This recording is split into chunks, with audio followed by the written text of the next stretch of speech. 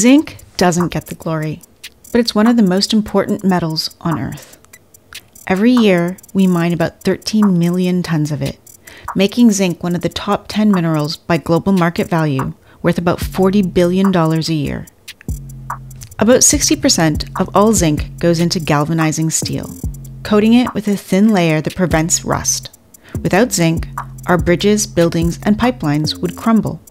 But zinc's second act is even more exciting. It's becoming a battery metal. The zinc air hybrid flow battery uses zinc and oxygen from the air to store clean power safely for over 20,000 hours at half the cost of lithium.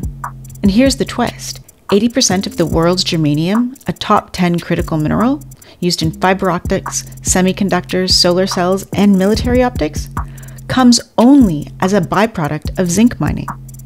So, next time you think about the future of clean energy, remember that the metal that built the industrial world might just power the renewable one.